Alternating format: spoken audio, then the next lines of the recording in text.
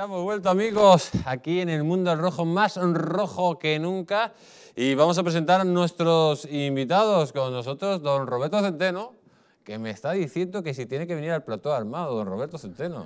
Si usted, No. es, si usted es Centenator, no hace Ya, pero armado. estáis diciendo que hay una serie de gente que la pagan y que cuando sales del plató te pegan o te pueden No, pegar no, un tiro. Estamos pues, hablando del expediente Royuela. Ah, ya, ya, ya, Entonces, eh, Pero- digo que de momento no, de momento no, esperemos. Mira, yo, yo mm, en una época anterior de mi vida, en la época dura de los años de plomo de ETA, yo era consejero de Petronor, porque Cansa tenía mm, eh, participación en Petronor. Y eh, periódicamente, eh, que bueno, periódicamente, todos los meses, teníamos que ir a Bilbao, eh, al consejo en el Abra, donde además nos daban de comer de cine, como es habitual en el País Vasco.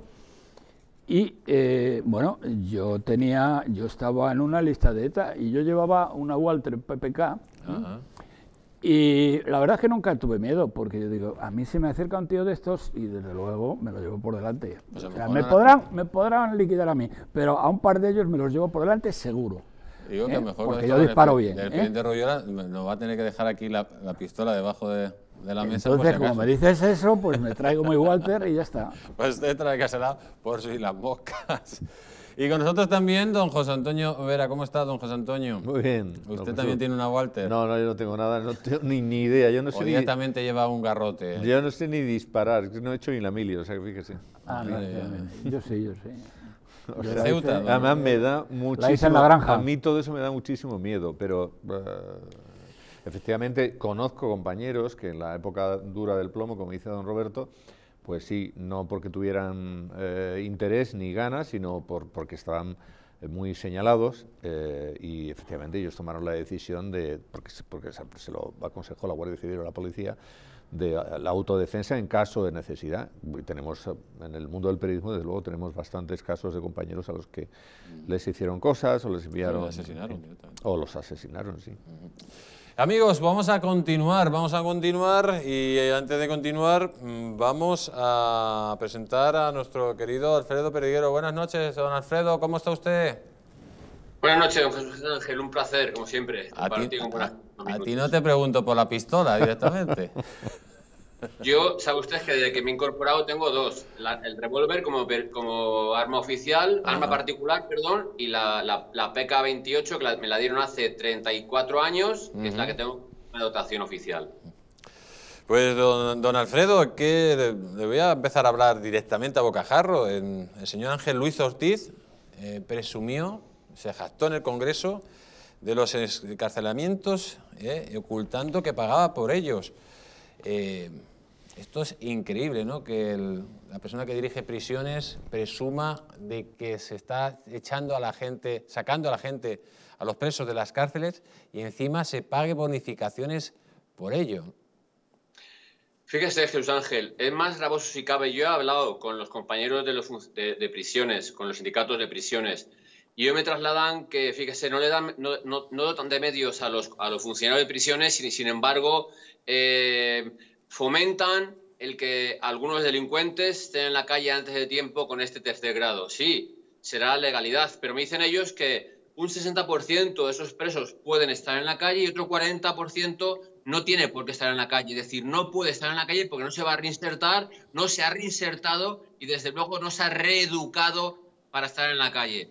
Por tanto, eh, es el responsable, el que lo ha hecho, el que lo ha fomentado y el que al final eh, ha consentido esto, Jesús Ángel, yo creo que debe tener, cuando menos, responsabilidades, no sé si penales o civiles, o aunque por lo menos políticas. Porque es gravoso que no escuche a los funcionarios de prisiones, está todos los días con ellos, que saben quién está y quién no está, y que eh, dicen quién puede estar y quién no puede estar.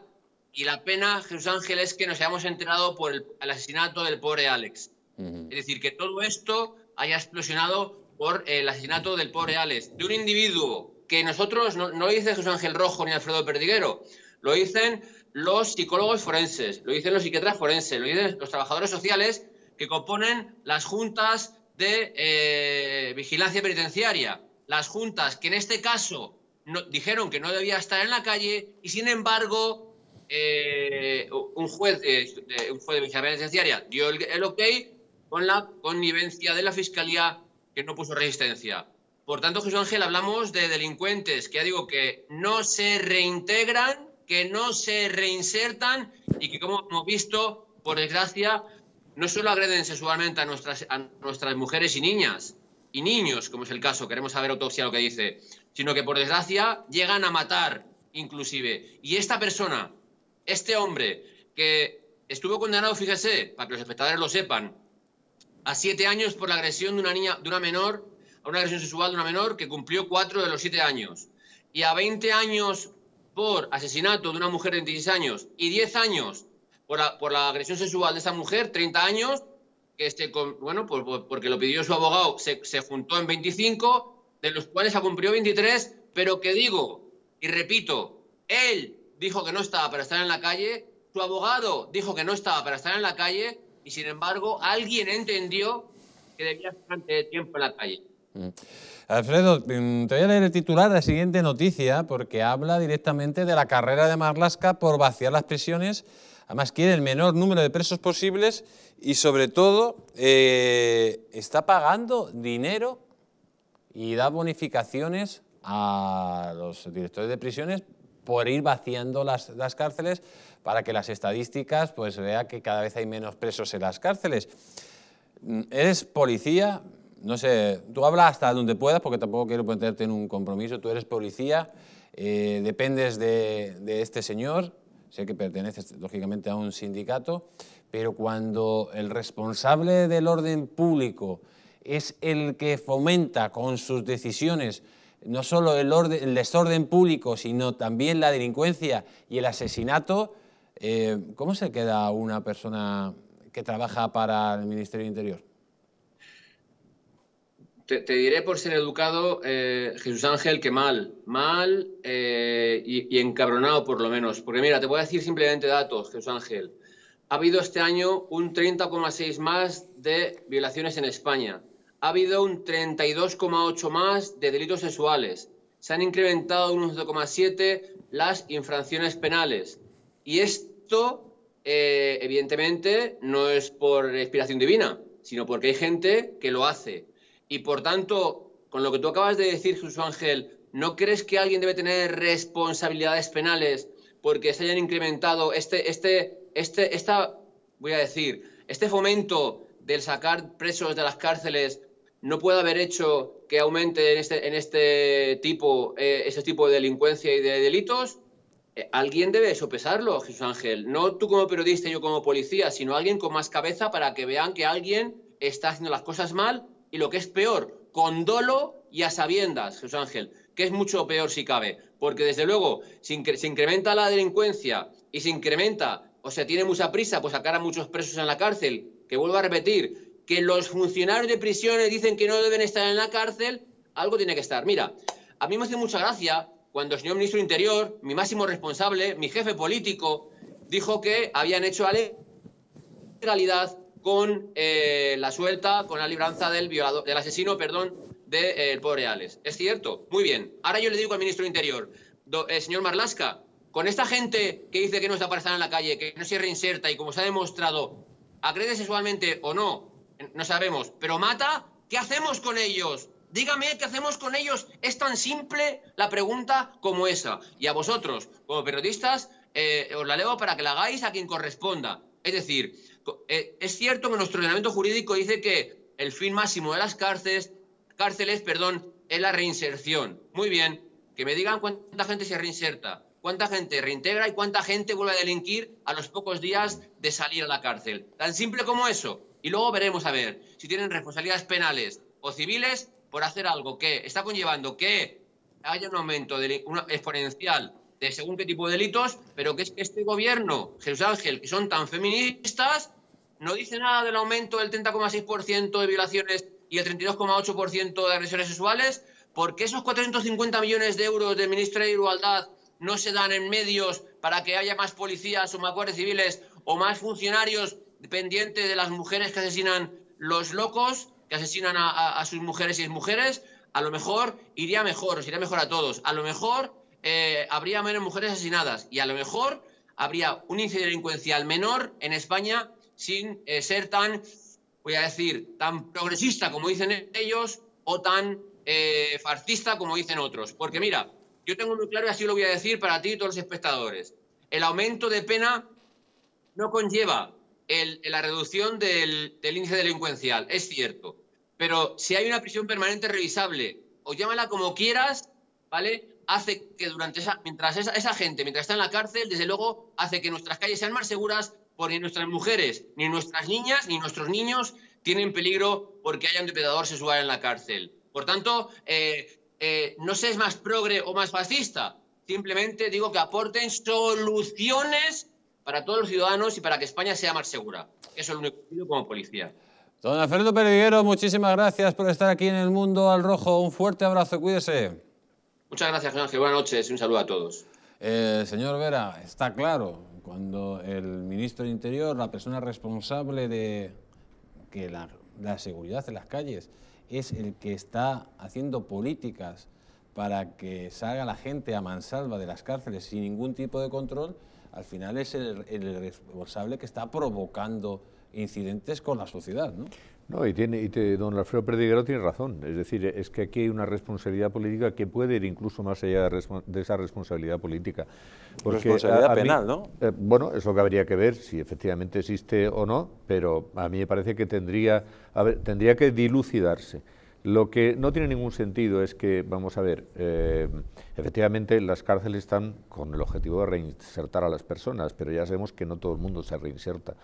Y quien tiene que decidir esto no es el director de la prisión porque está incentivado, que es lo que hemos visto, hemos, aprendido, hemos tenido la información a la que hemos tenido acceso esta semana y que a mí me parece francamente escandaloso. Es decir, en la medida en que tú pongas eh, o apruebes más terceros grados, resulta que al final tienes unos mayores incentivos. A mí eso me parece que es impresentable. Eh, quien tiene que decidir los terceros grados es la Junta la Junta, que está formada por un psicólogo, pues por un juez, por las personas que saben de esta cuestión, las que han estado analizando el, comportamiento de ese preso en la cárcel y sus antecedentes. En este caso, es claro, tenemos los antecedentes de un señor que había asesinado a una persona con 17 puñaladas y que además estranguló a una niña, aunque no llegó a morir, pero la estranguló porque le producía, todo eso le produce placer sexual. Mire, esta persona, mm, desde luego, eh, si no fue condenada, porque no existía en ese momento, a la, prisión permanente revisable, por lo menos tendría que cumplir la totalidad de su condena. ¿Por qué? Porque él mismo incluso había dicho que no era una persona que fuera reinsertable, porque él mismo tenía dudas sobre su comportamiento. Entonces no se trata de echar a la calle a todo el mundo, si hay personas que verdaderamente se han reinsertado, se han comportado como tal, y hay una unanimidad en la Junta, pues muy bien. Pero en este caso es que los miembros de la Junta dijeron que no eran favorables al, tercer grado para este individuo. Y sin embargo se concedió y ahora ahí tenemos un niño muerto. ¿Y quién es el responsable de esto? ¿Mm? ¿Quién es el responsable? Don Roberto Centeno, en Estados Unidos este niño ahora mismo estaría vivo. Porque directamente este tipo o se lo hubiera condenado a cadena perpetua o a la silla eléctrica. Bueno, sin la menor duda. Este niño estaría vivo el señor Marlasca estaría con un molo de color naranja y unas cadenas alrededor de los pies, y este otro miserable, que es el gran culpable, Luis Ortiz, ¿eh? que es el responsable directo, vamos, indirecto, eh, de la muerte del niño, bueno, le habría caído la perpetua. Pero vamos a ver, señoras y señores, lo primero que tienen que tener en cuenta ¿eh? es lo siguiente. El señor Marlasca miente siempre, o casi siempre, alguna vez se equivocará y no mentirá, pero está mintiendo continuamente a los españoles, lleva años mintiendo a los españoles. ¿eh? Es una auténtica vergüenza. ¿eh? Tenemos al ministro del Interior, al peor ministro del Interior de todo Occidente, de todo el mundo desarrollado. Y si aquí podíamos meter también los países menos desarrollados, donde con toda seguridad hay ministros del Interior mucho más capaces que este, eh, este individuo. Pero es que eh, cuando esto ocurre el otro día, tiene la cara dura, tiene la desvergüenza. Si es que Marlaska no hay por dónde cogerte, eres un sinvergüenza. Vas y dices que, eh, que bueno, que esto se debatió en la cárcel, en el, grupo ese de técnicos, ¿eh? y que, bueno, hubo votos a favor y hubo votos en contra. Pero ¿cómo puedes tener la cara dura, la desvergüenza, la miseria moral de engañarnos así a los españoles? ¿Cómo que votos a favor y votos en contra? La inmensa mayoría votó en contra de que se le eh, escarcelara. ¿eh? Y entonces, ¿qué pasó? Y luego vas tú y dices, bueno, ¿cómo vos a favor y votos en contra? Que, eh, don Jesús Ángel, hay que tener una desvergüenza, una cara dura y que bueno, que no tiene nombre. ¿Y qué es lo que pasa? Se lo lleva a este, eh, dice, esto va a una instancia superior. ¿Quién es la instancia superior? ¿Eh? Bueno, es un enchufado de él, un tal Luis Ortiz, ¿eh? quédese ustedes con su nombre para la infamia, porque este Luis Ortiz, que es algo así como el director general de instituciones penitenciarias, cogió el papel, porque este señor recibió un papel en el cual la mayoría de los votos eran diciendo que este tío no se le podía escardelar porque era un peligro clarísimo. ¿Y qué hizo este miserable? ¿Eh? ¿Eh? En una resolución que apesta a prevaricación y que en algún día espero que te procesen y unos jueces decidan si cometiste prevaricación o no, tiraste la resolución de los profesionales a la papelera y dijiste que lo sacaran. Vamos a ver, Ortiz, ¿eh? es que tú ahora mismo te puedes mirar al espejo por las mañanas. Seguro que sí, porque eres un sinvergüenza ¿eh? Eh, y te da exactamente lo mismo. Es mm, de auténtica vergüenza. Mira, mm, me preguntaba antes, me preguntaba antes Jesús, tú ahora mismo no, en Estados Unidos, no solo en Estados Unidos, en cualquier Estado de Derecho, en cualquier Estado europeo, ¿eh? tú estarías primero fuera del cargo y en segundo lugar estarías, eh, estarías eh, procesado por negligencia criminal, cuando no por prevaricación. Es una auténtica vergüenza. Y luego nos encontramos con algo que ya, lo que pasa es que aquí ya las cosas han dejado de sorprendernos, que no existe en ningún lugar del planeta. ¿Cómo es ese invento de esta panda de canallas socialcomunistas que están llevando este país a la ruina económica, social y política? Que se sacan un invento por el cual se dan premios, se dan pluses a aquellos directores de cárceles que escarcelen a más criminales. Bueno, es que esto uno va fuera de España y lo cuenta, y te miran con una cara de cachondeo como no te puedes ni imaginar, porque es que no se lo pueden creer. Y esto está sucediendo en España. Y esto, el culpable, es el señor Marlaska. Y digo lo mismo, Marlaska, en cualquier país civilizado ¿eh? estarías procesado. y nada más, una cosa, eh, este, este individuo, a ver cómo se llama, Ortiz. Termino usted, eh, don Roberto, que, ya, Ya termino, ya termino. ¿No te da vergüenza ¿Cuánto vale para ti la vida de un niño? ¿Eh? Los 60 o 70 mil euros que ganas y el coche con chofer, y con, por 60 o 70 mil euros que ganas y coche con chofer, has estado dispuesto ¿eh?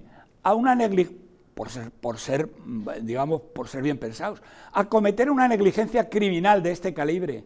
Porque es que tú tenías el papel diciendo que no podías soltar a este tío y los has soltado. ¿Y ahora qué pasa? ¿Eh? Eso es lo que vale para ti la vida de un niño.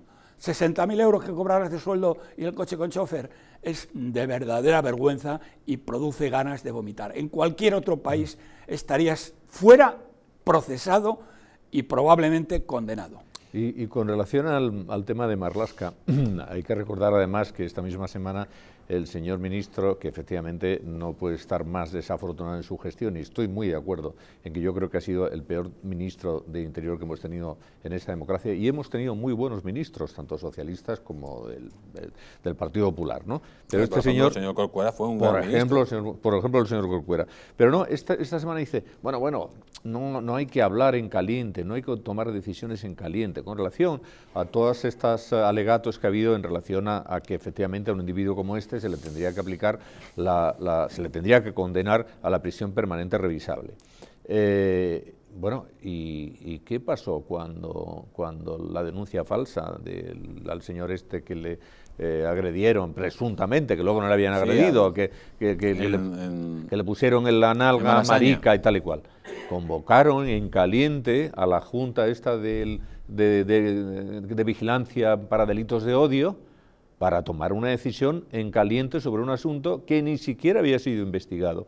De, manera que ellos actúan según les parece, pero en este caso, efectivamente, oiga, vamos a tener un poco de cuidado, porque estamos de acuerdo con la reinserción, pero solamente aquellas personas que puedan ser reinsertables, y por supuesto con el visto bueno siempre de la Junta eh, de, la Junta de, Vigilancia Penitenciaria. Y si eso no se produce, pues es una auténtica temeridad que tendría que estar sancionada con el delito que fuere correspondiente. Efectivamente, amigos, eh, no se puede sacar a un depravado sexual, eh, a un asesino a la calle de esta forma y eso ha significado la muerte de un niño.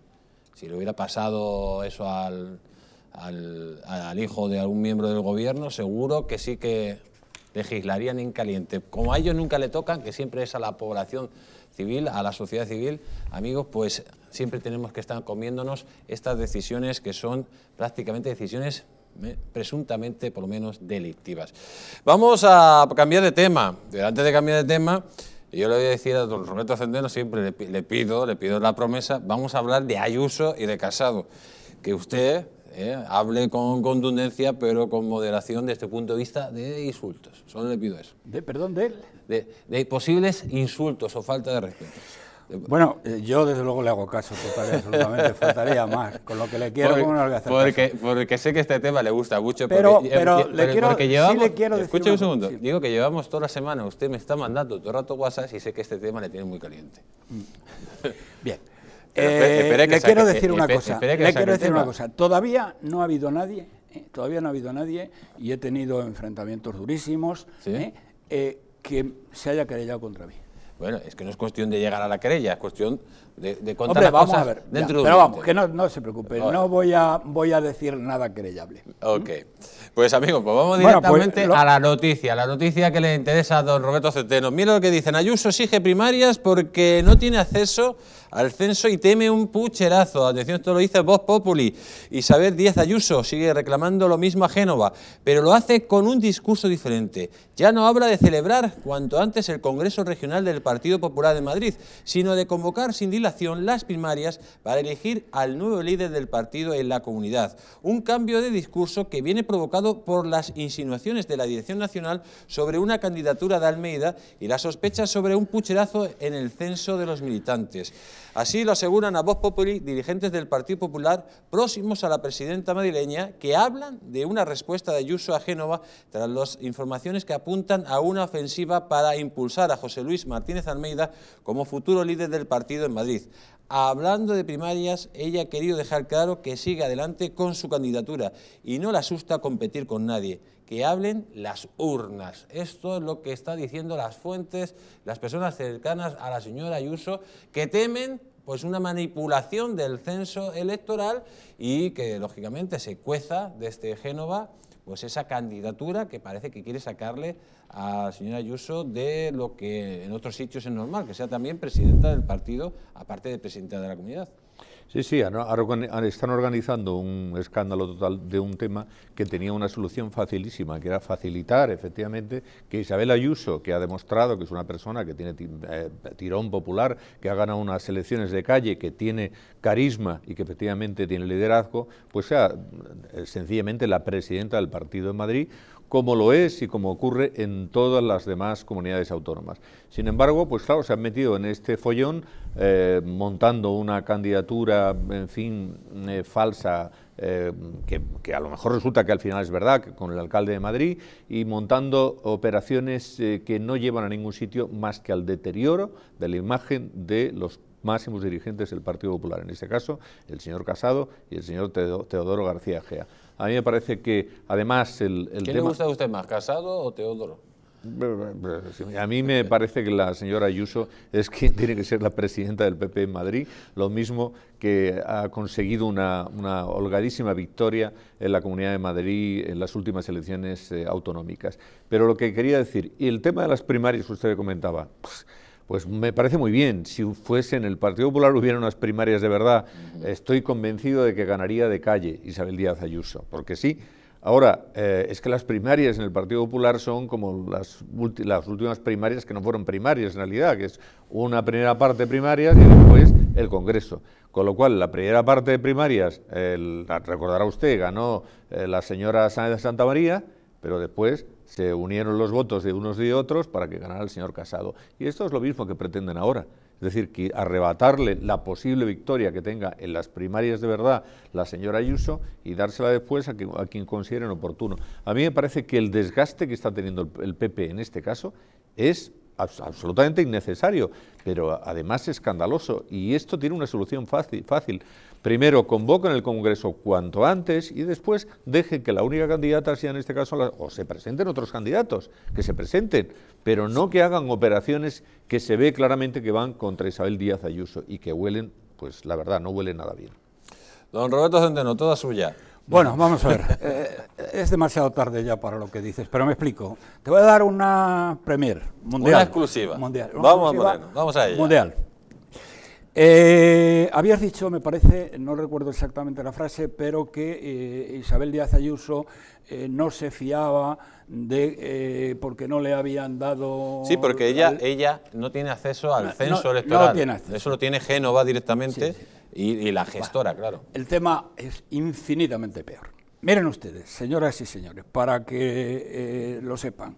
El mayor manipulador de elecciones primarias de España, el mayor manipulador de elecciones primarias de España, Fran Herbás el Lobo, que manipuló todas y cada una de las primarias de Ciudadanos, esto mm, lo han dicho gente de primer nivel de Ciudadanos, todas las primarias de ciudadanos, es ahora, naturalmente, como ha visto el viento donde soplaba, se ha metido en el PP.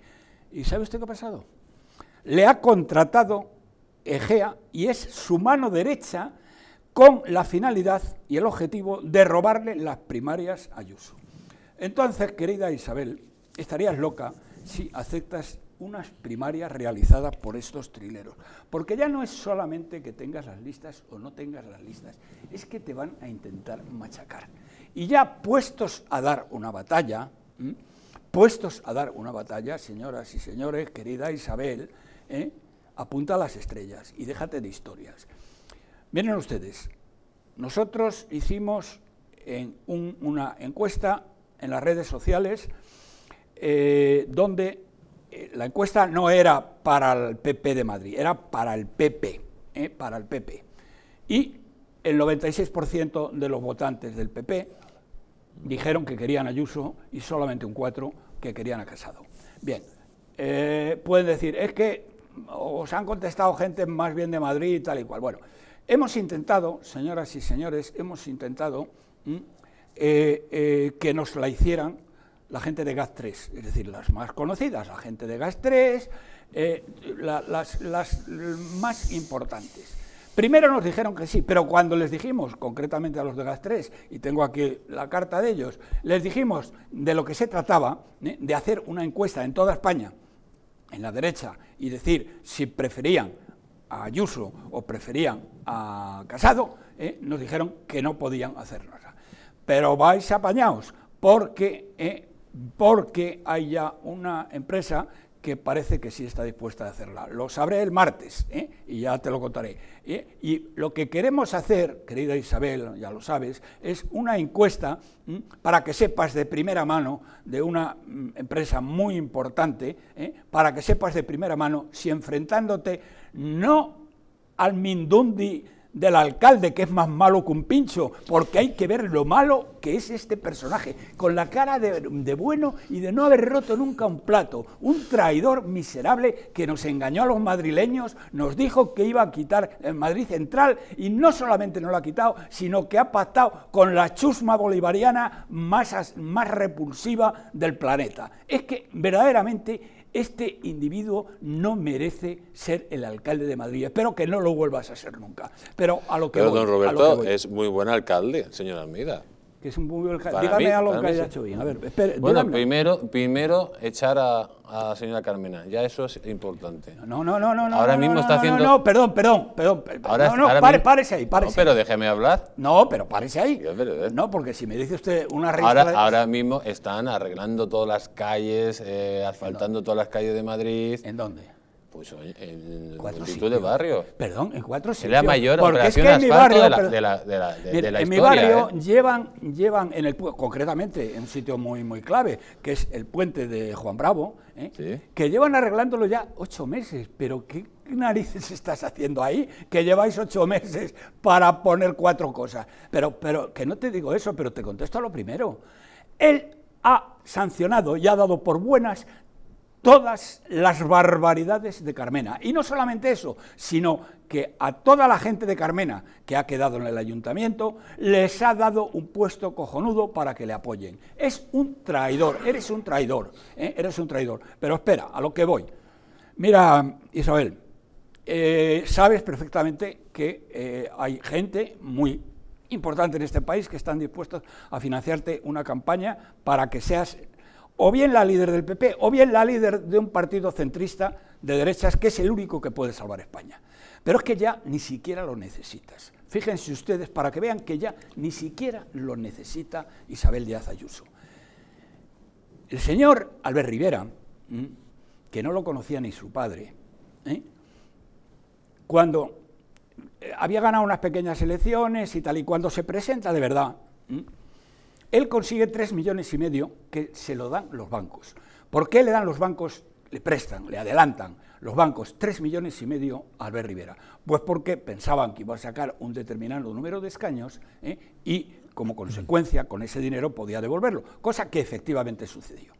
¿Cuántos escaños sacó Albert Rivera by the face porque no lo conocía ni su padre? ¿eh? Sacó 40 escaños. Isabel, por Dios, tú tienes un tirón en toda España, no en Madrid, en toda España tienes un tirón brutal. ¿eh? No se puede comparar ni de lejos ¿eh? la posición mediática y de, y de lo que te quiere la gente y de lo que te quiere España ¿eh? con la que tenía Albert Rivera. Y Albert Rivera sacó 40 escaños. A ti los bancos, es decir, no dependes de nadie. Nadie tendría que darte ni un euro, porque a ti los bancos te darían dinero de sobra para montar una campaña. Y desde luego, el mínimo de los mínimos que sacarías, si ya lo hicieras fatal y todo lo demás, serían 60 80 escaños. Pero es que puedes sacar la mayoría absoluta.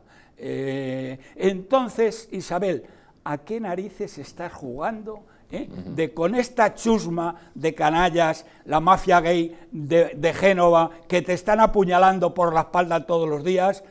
¿Han visto ustedes lo que, les he lo, que- lo que se ha dicho? Es que es el colmo. ¿eh? Este GEA ha contratado al golfo más golfo de todos los golfos en la manipulación de primarias. Pero bueno, es que esto es escándalo. Mira, mm, Isabel, si esto no te hace que te dejarres las vestiduras y los mandes a todos a la mierda, ¿eh? y monte y te enfrentes de verdad, de verdad, de verdad con Casado, ¿eh? Eh, Don Roberto, vamos a trasladar la pregunta al señor eh, Vera. Eh, el señor Roberto Centeno, porque ya lo ha dicho en otra ocasión, y, y sé por dónde va, lo que está diciendo es que directamente no haya no se presente a las elecciones eh, primarias para ser presidenta de la Comunidad de Madrid, del Partido Popular, sino que la señora Díaz Ayuso directamente, si no me confundo, monte otro partido, porque ella tendría muchísimo más tirón que el señor Casado. Sí, yo creo que es evidente que Díaz Ayuso tiene un tirón eh, electoral y popular mm, que es eh, muy grande y me parece que es mayor que el de Casado, eso es evidente. Pero sí que es verdad que montar un partido nuevo de la nada, pues tiene su complicación, no es fácil. Yo lo que creo es que todo esto que se está haciendo es gratuito, porque Díaz Ayuso, la presidenta de la Comunidad de Madrid, no ha hecho absolutamente nada para eh, que le monten esta operación que se está montando. Es decir, su comportamiento ha sido un comportamiento de decir, yo estoy en el PP, no tengo ninguna aspiración, entiendo cuál es el papel eh, del presidente del partido, es decir, no ha podido mm, tener un comportamiento más razonable para una persona que está dentro de una organización y sin embargo le responden de una forma que es absolutamente gratuita, que es intentando eh, que no tenga lo que tienen todos aquellos presidentes autonómicos eh, del PP que efectivamente también son presidentes del partido en las comunidades en las que ellos eh, tienen esa responsabilidad como presidentes autonómicos.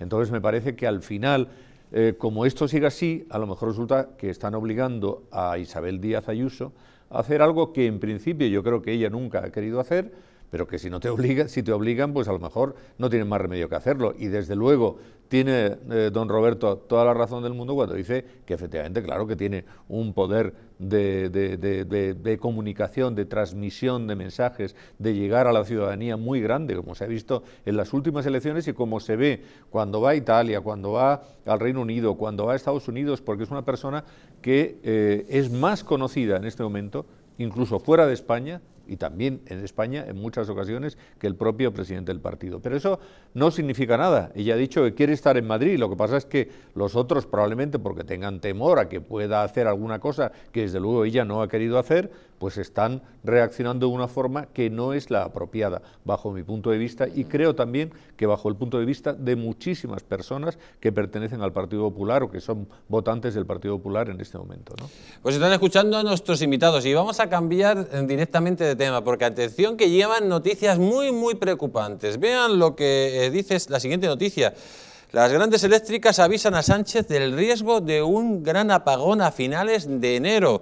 Peligro de apagón eléctrico en España. Las grandes eléctricas ya han avisado al gobierno que un momento de poco viento, menos sol y fuerte frío puede provocar un apagón eléctrico por la incapacidad de sumar la generación de electricidad con gas natural en plena punta de demanda.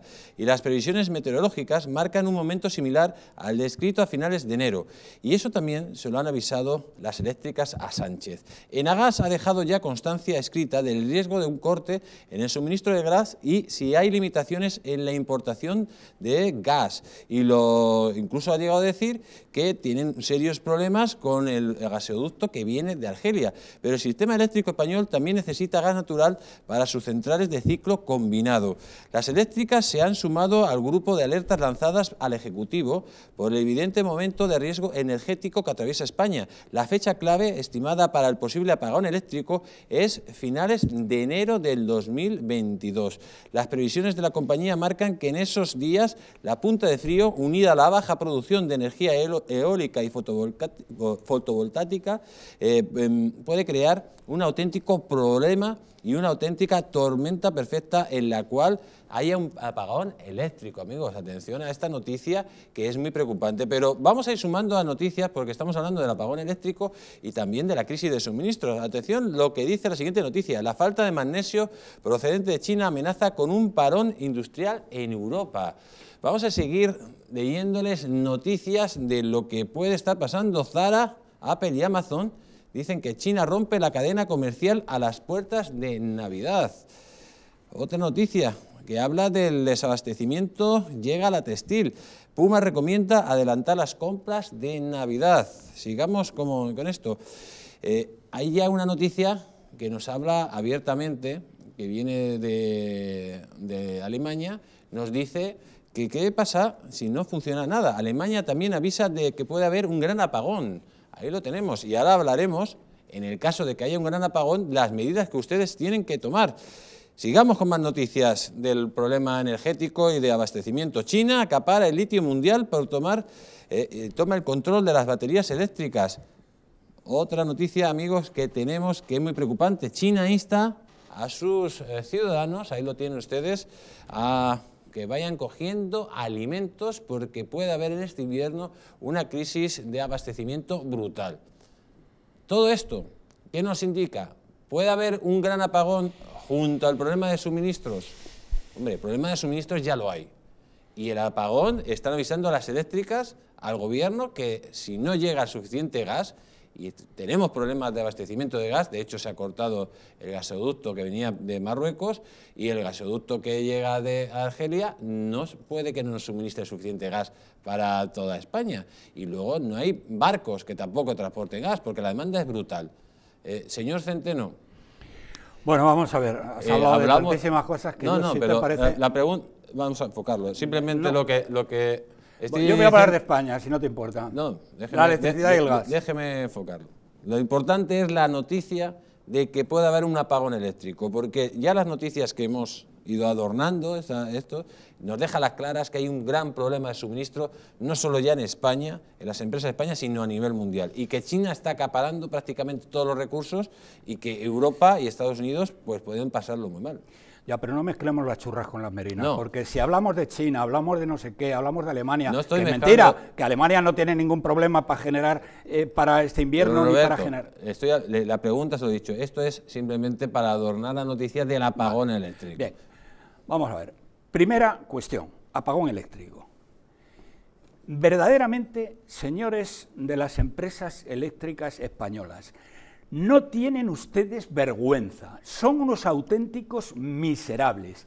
¿Cómo narices osan decir ahora mismo que le han advertido al gobierno que puede en determinadas circunstancias, a final de enero y a principios de febrero del año que viene, puede haber un apagón eléctrico cuando ustedes, ustedes han volado, han dinamitado las centrales de carbón que tenían? ¿eh? una docena, casi una docena de centrales de carbón, pero ¿cómo tienen ustedes vergüenza para eso? Las cosas que pasan en España no se entienden, porque si esto lo llegan a hacer en Estados Unidos, les pasa exactamente lo que a Marlaska, van directamente a la cárcel. Ustedes han dinamitado, han volado en noviembre del año pasado sus centrales de carbón, algo que no ha hecho nadie. Eso es una canallada, eso es criminal. Y ahora ya la golfada de las golfadas que vengan ustedes diciendo, ragándose las vestiduras y digan al gobierno, oiga, que va a haber un apagón. ¿Cómo que va a haber un apagón? Pedazo de canallas, si habéis volado, habéis destruido la capacidad productiva que teníais, que no lo ha hecho nadie. Primer punto. Segundo punto, el tema del, gas. El tema del gas, mire, mm, la situación muy rápidamente. Se ha cortado el gas, hay dos gasoductos, eh, hay dos, eh, vamos a ver, recibimos gas por tres sitios, distintos a los barcos. Eh, que es más de la mitad del gas que recibe España. Lo recibíamos dos oleoductos que vienen de Argelia y un intercambio complicado con Europa de gas de Noruega, que no es de gas de Rusia, como dicen algunos indocumentados. Y, miren si lo sabré yo, porque un servidor, junto con un empresario italiano muy conocido, Massimo Moratti, que tiene la mayor refinería el Mediterráneo, firmamos un acuerdo con Nord Hydro en Stavanger eh, para comprar gas, eh, que luego se lo quedaron otros. Pero bueno, eso, eso, eso es aparte. Bien, problema, tarifa. Tarifa estaba, eh, estaba hasta, antes de ayer, estaba vehiculando 6.000 millones de metros cúbicos de gas a España. El mes gas ideado por Rafael del Pino, el más grande empresario español del siglo XX, transporta 8.000, es decir, el que queda transporta 8.000. ¿eh? Pero eh, con un añadido de una nueva central de bombeo, o bueno, mejor, un equipo de bombeo ¿eh? En en que Rafael lo tenía previsto, se pueden mm, incrementar los suministros por el eh, Mezgas, el, ideado por Rafael del Pino, se pueden incrementar en 2.000. Con lo cual, el neto que habría de, eh, falta de gas eh, serían 4.000 eh, millones de metros cúbicos. Para traer esos 4.000 millones de metros cúbicos, suponiendo que se necesitaran, suponiendo que se necesitaran, y no se van a necesitar, ya les explico por qué, se necesitarían 47 metaneros. 47 metaneros. Dificilísimo de encontrar 47 metaneros por las razones que se han dado aquí. Pero ¿por qué no se van a necesitar? Pues miren ustedes, porque se está hundiendo el consumo. Hay montones de grandes empresas que han bajado a la mitad su producción. ¿Eh? Les estoy hablando de Pamesa, les estoy hablando de Fertiberia, les estoy hablando de Acerinox, les estoy hablando de grandísimas empresas y de pequeñas y medianas apuñados. Y luego hay muchas familias, una aquí representada, que en, eh, eh, en, previsión de estas cosas, pues están procurando apretarse, las, apretarse las tuercas. Y nada más, quisiera pedirte tres minutos para un tema personal relacionado con esto. tres minutos, no, don Roberto. O sea, si quiere Um, si quieres, vamos, a, dar primero la palabra a don, José Antonio. y luego me deja. Pero no tres minutos. está relacionado con esto. ¿eh? Sí, yo, yo digo que desde que a mí me, me, parece muy interesante, don Roberto es un experto en todas estas cuestiones de energía, como en tantas otras cosas, y desde que usted dio la información las pasadas semanas sobre el tema del gas, nosotros ya estamos consumiendo gas otra vez. ¿eh? Ya le digo que. Hace muy bien. claro, porque ya ha empezado el frío. Hace muy y dado que además usted dice que no van a subir los precios. No, pues se lo, vamos, no, se lo van a subir muy poquito. Ya, bueno, y luego pues lo van a pagar, como vale muy caro el gas, lo van a pagar tus hijos y los hijos claro. de tus hijos. No, yo en cualquier caso veo que el, el problema, ojalá no lleguemos a, no sé, a unas cotas mayores, pero el riesgo existe, porque es un riesgo que no solamente es en España, sino que es a, nivel internacional, porque el precio del gas a nivel global se ha crecido un, un, montón y porque nosotros aquí, mismo que los alemanes, sí que tienen esas centrales de carbón que nosotros hemos dinamitado, eh, y, los, y los franceses tienen energía nuclear que nosotros no tenemos, porque lo que tenemos y nada es prácticamente lo mismo, pues claro, somos muy dependientes del gas natural para que funcionen las renovables y las renovables en invierno funcionan mal. Entonces, ojalá no pase nada, pero sí que es verdad que, dado que la previsión de apagón no es solamente eh, en España, donde salió esta información fue del gobierno austriaco y luego del suizo, y esta semana, esta misma semana ha sido en Alemania. Entonces yo eh, haría lo que me parece que es en, estas circunstancias fundamental, que es ser precavido, no gastar demasiado en cosas que son innecesarias y tomar las precauciones que, mm. sean las justas para afrontar un invierno que ojalá no pasa nada, pero puede ser duro, desde el punto de vista de la energía, pero también desde otros puntos de vista. Cuidado, porque ahora tenemos que la pandemia está empezando a, a irse otra vez arriba en Alemania, en Gran Bretaña, etcétera, etcétera.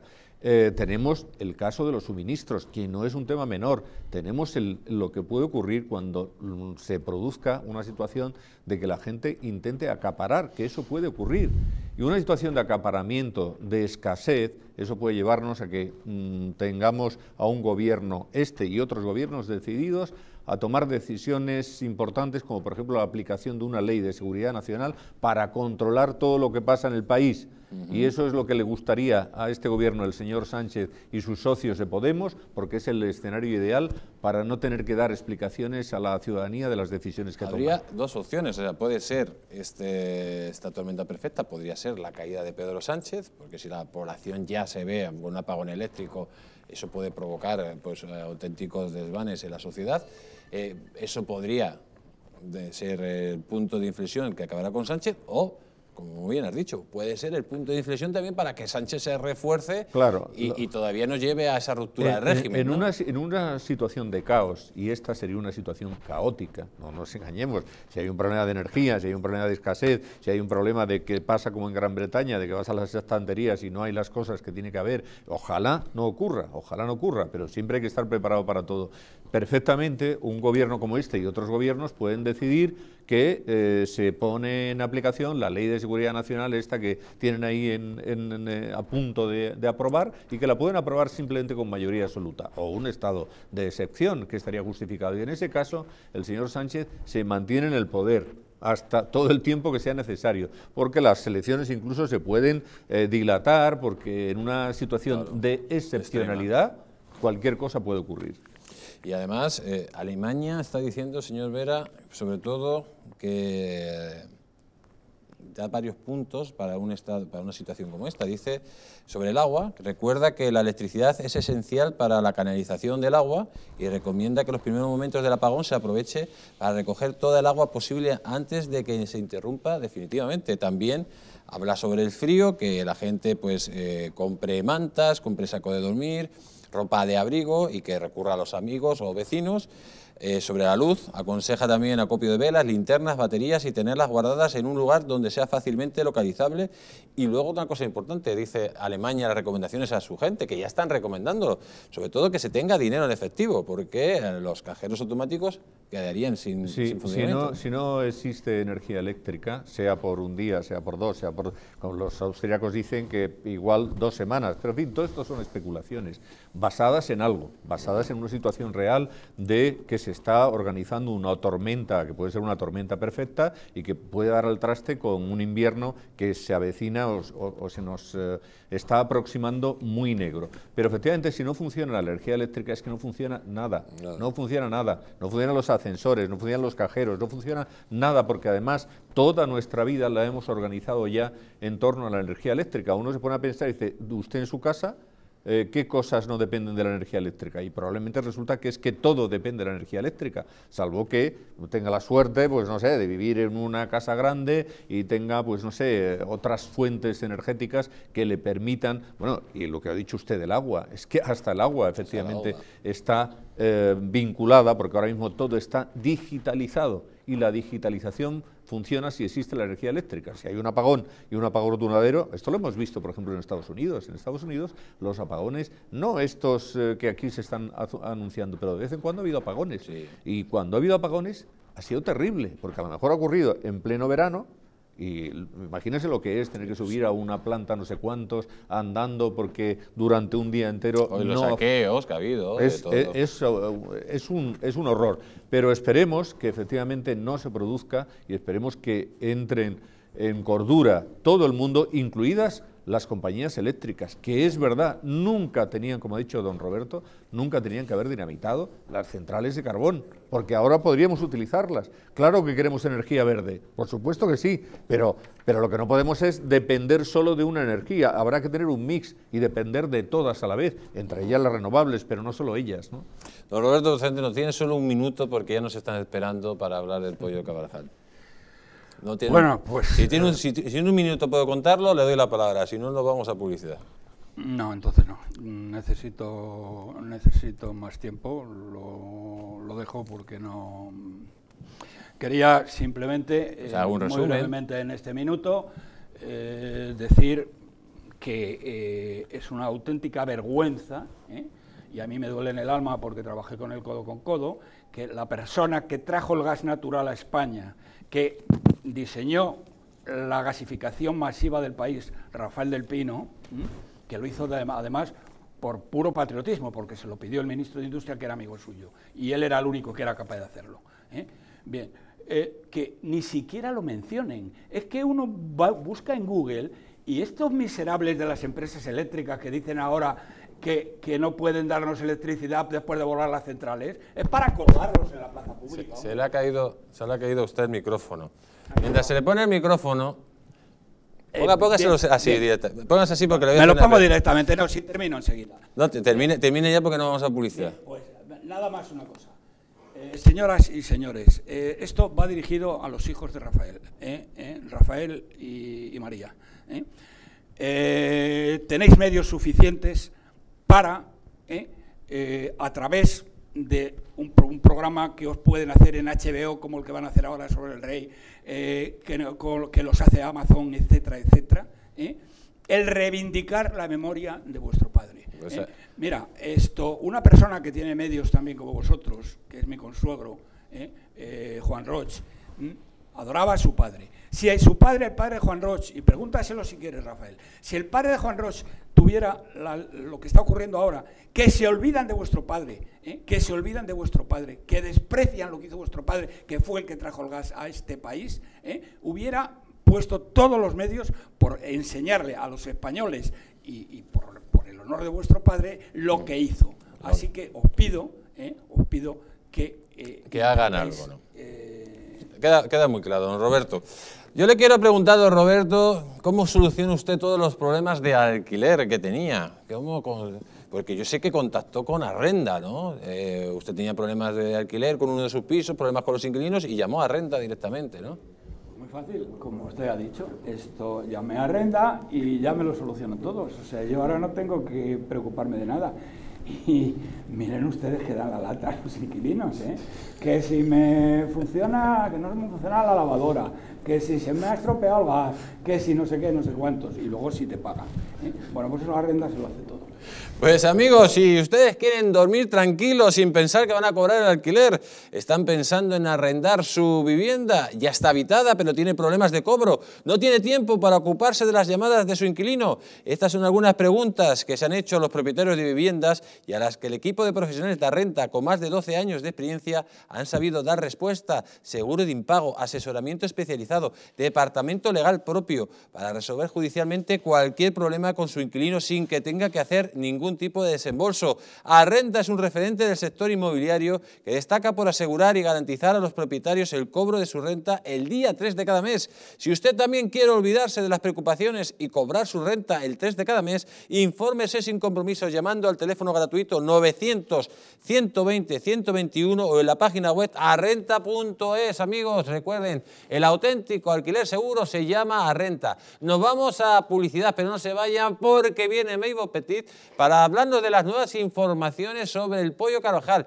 y sobre el contrato que PDVSA, amigos, ha renovado con Garzón y que Estados Unidos, amigos, está acusando eh, de colaborar con las FARC a PDVSA y Garzón está metido en todos estos líos. Vamos a publicidad y en un minuto volvemos.